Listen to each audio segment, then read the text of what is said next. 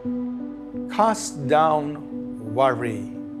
Matthew chapter 6, verses 25 to 31. Therefore I say to you, do not worry about your life, what you will eat or what you will drink, nor about your body, what you will put on. Is not life more than food and the body more than clothing? Look at the birds of the air, for they neither sow nor reap nor gather into barns, yet your heavenly Father feeds them. Are you not of more value than they? Which of you by worrying can add one cubit to his stature? So why do you worry about clothing? Consider the lilies of the field, how they grow, they neither toil nor spin. Yet I say to you that even Solomon in all his glory was not arrayed like one of these. Now, if God so clothes the grass of the field, which today is and tomorrow is thrown into the oven, will he not much more clothe you, or, or you of little faith? Therefore, do not worry, saying, What shall we eat? What shall we drink? Or what shall we wear? Another area in which imaginations play a major part in our life is having to do with worry. You know, some of us, or sometimes people, can become perennial worriers. They worry all the time, morning, noon, night.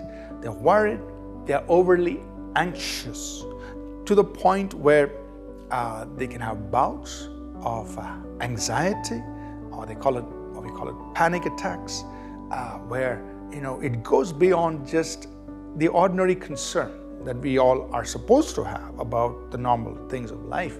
It goes beyond just being responsible and being concerned to come to a place where we worry, and that worry so grips a person's mind that he goes into a state of panic. Uh, you know, and, and this panic attack could last, you know, several minutes or whatever, uh, uh and it, it makes the life of the person miserable. But if you trace it back, where does it start? It all starts with the mind, with the imagination. And if you learn to cast down those imaginations that are actually igniting or generating this worry and anxiety, we can deal with this at its root. We can deal the root cause of this whole problem. We must learn to cast down imaginations that are causing worry and anxiety and causing this panic to grip our minds. So Jesus said, you know, do not worry about these things. Of course, we all need to, you know, have things to wear, things to eat, uh, what we do, where we live. All of these things, of course, are, are areas that uh, we need to attend to. But he says, do not worry about them. What, what, what, what causes worry or how do we negate worry? When you and I believe the Word of God, that God has promised to take care of us, and as our Heavenly Father, He will take care of us. Jesus said, Look at your Heavenly Father. Look at the birds, look at uh, the, the, the vegetation He's created. Your Heavenly Father, your Heavenly Father takes care of all of these things. Will He not take care of you? So, what is the antidote to worry?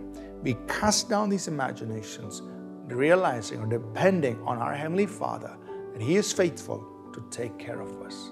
He's our Heavenly Father. He will not let us down. So when these imaginations come in that cause worry, cast them down. They don't have a, they don't have a place in your mind. Let's pray.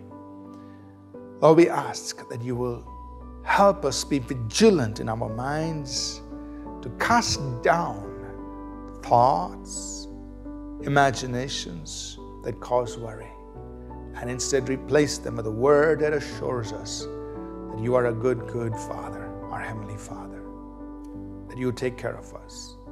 In Jesus' name, amen. Thank you for tuning in to Living Supernaturally. For more resources to strengthen your spiritual walk, please visit apcwo.org.